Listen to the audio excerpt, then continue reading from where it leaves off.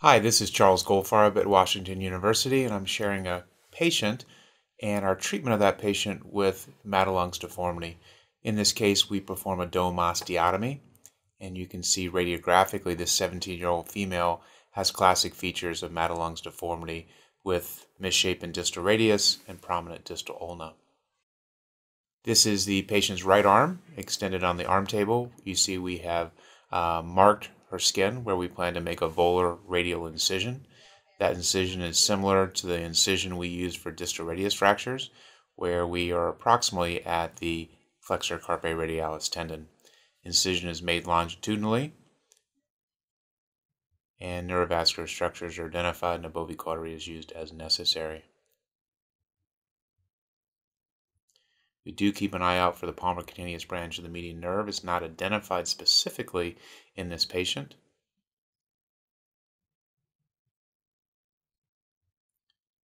And as we're dissecting more deeply, we do see the radial artery on the radial side, and then we come a bit more ulnarly, and we find the FCR tendon. We open the FCR tendon sheath as we typically do for a distal radius approach and we retract the FCR in either direction, whichever is most straightforward, divide the floor of the FCR sheath to expose the deeper structures.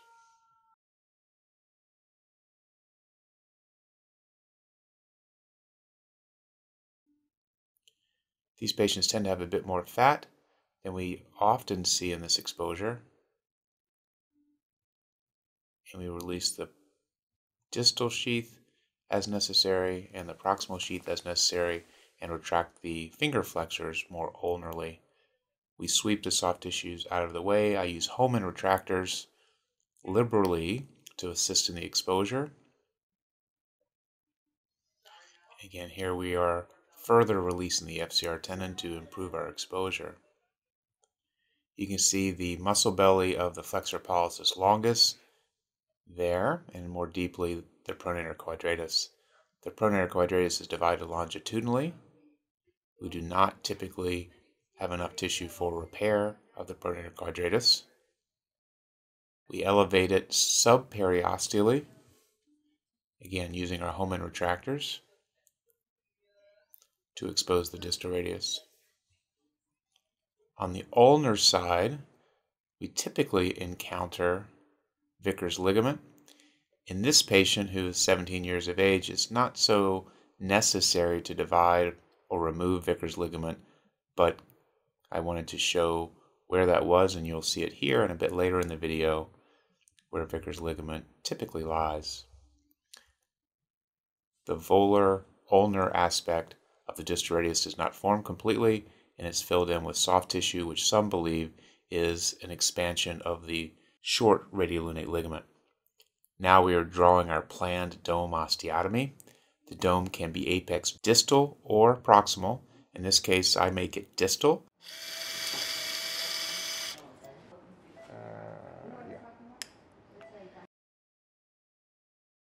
I believe the apex of the uh, dome osteotomy is closest to the deformity. We want to protect the DREJ, or at least what exists of the DREJ, and that's how we design our dome. This is a three-dimensional dome, as you will see. Here I'm further releasing Vickers ligament just for exposure and demonstration purposes primarily. The thick white stuff is abnormal. That is not the DREJ. It is the thickened Vickers.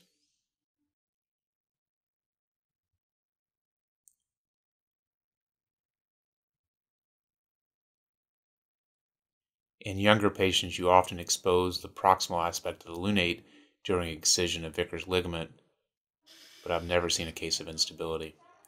So once we have our exposure, we perforate the volar cortex of the distal radius using irrigation as necessary to prevent overheating with a 0.45 Kirschner wire.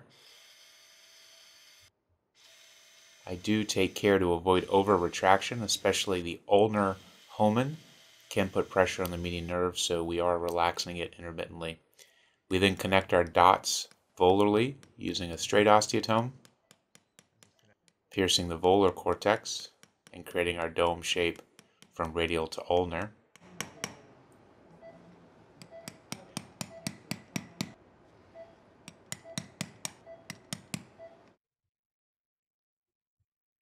Once that is complete, we used a curved osteotome, starting with the osteotome parallel to the forearm and elevating the osteotome to create a volar to dorsal dome shape as well.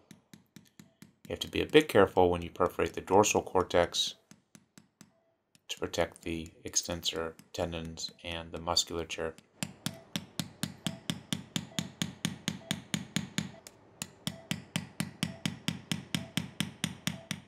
You have to be careful not to create an apex or a rooftop at the center of the dome, else it's hard to manipulate the fragments.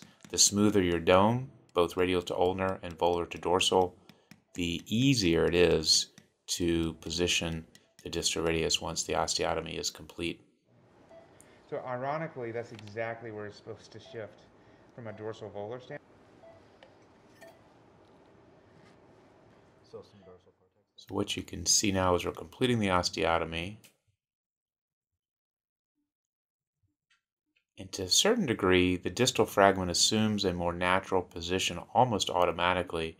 What you can see is the distal fragment slides dorsally. And now we will manipulate the fragments until we're happy with them. So the distal fragment's dorsal, but I don't like its radial ulnar translation. I want the distal fragment to slide a bit more radially. And what that does is it decreases the radial inclination angle to a more appropriate angle. Typically, if a Hohmann is placed on the proximal fragment radially and the distal fragment ulnarly, one can manipulate those two Hohmanns and therefore manipulate the relationship between the fragments. Of course, you have to ensure there's no soft tissue attachments, and here we're releasing a bit more of the Vickers ligament to accomplish that goal. And another Hohmann.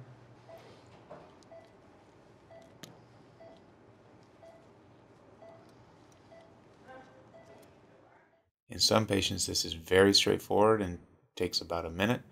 In other patients, as you can see here, we have to work a little harder. Uh, so now we are producing before. We did, I know. Now we can't get it back there. I don't know if it's the correction in two planes, which is which is the problem. That broke something up. Okay. Yeah. Yeah. So now we have translated the distal fragment radially. We've translated the distal fragment more dorsally, and you can see the correction in the volar prominence of the proximal fragment. And now we're going to secure this with K-wires. I use K-wires only, no matter the age of the patient.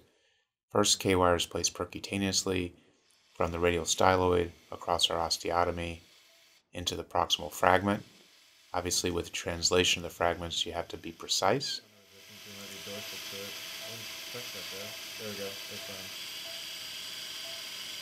There we go. And then, in an effort to minimize irritation of the radial sensory nerve, we make a small incision, spread, assure the nerve is not directly in line, and then place our second K wire. That's bone, isn't it? Yeah. Same. Same trajectory, but more distal. Coming up, I'd go closer. Yeah, right there. Try to avoid making the K wires parallel, but they can be relatively close to that. It's a little tricky to place them again with the translation of the fragments. And once you have successfully placed your K wires, there's very good stability of the osteotomy, and this together with a volar splint is usually sufficient for mobilization. So here you can see improvement of the radial inclination angle on the PA view, and you can see the volar translation of the, or I should say dorsal translation of the distal fragment. Here we are limiting the cortical prominence of the proximal fragment and using some of that just to add a, a little bit of additional bone graft. Probably not necessary, but certainly doesn't hurt. These heal easily and well and quickly. Usually by five weeks are completely healed. Thank you.